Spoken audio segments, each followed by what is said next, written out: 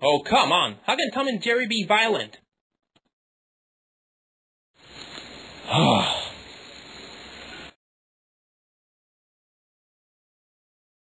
Dude, come on. How can the Looney Tunes be also violent? Oh, yeah, sure. Tom and Jerry and the Looney Tunes are violent. What about Happy Tree Friends? That's not violent?